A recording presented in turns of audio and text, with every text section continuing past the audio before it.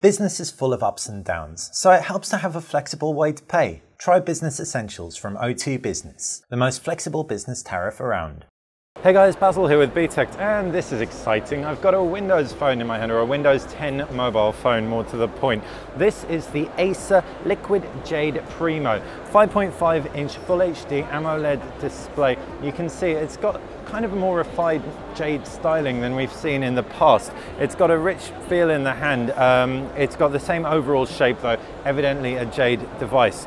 You can see on the right hand side you've got volume rocker and power button. Down at the base is a USB connector, while to the left hand side no buttons. Up at the top 3.5 millimeter headphone jack and around the back is that camera. Now the camera is cool, it's a 21 megapixel sensor with a warm and a cool LED uh, flash so should be ace but What's really, really cool about this is it comes with a Continuum dock pack. So mm, the dock pack's at 599 USD. The phone alone is 569. So I think it's a bit of a no-brainer. It expands the dock, adding USB ports, or expands the phone's capabilities, um, and obviously plugs in via HDMI.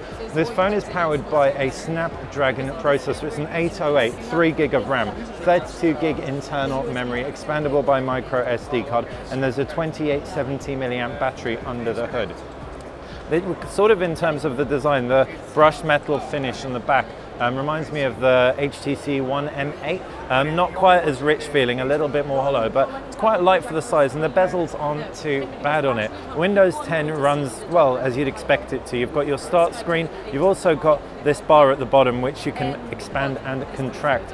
Swiping to the right, you see all your applications and you've got the notifications shade at the top of the phone. Like I said, looks pretty cool. Let's see how it performs with the Continuum dock.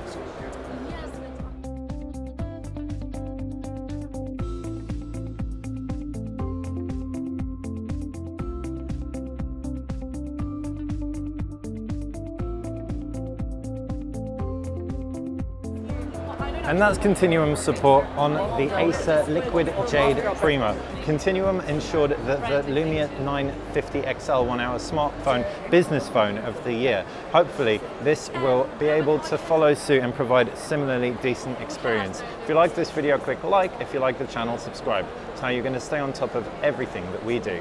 Thanks for watching.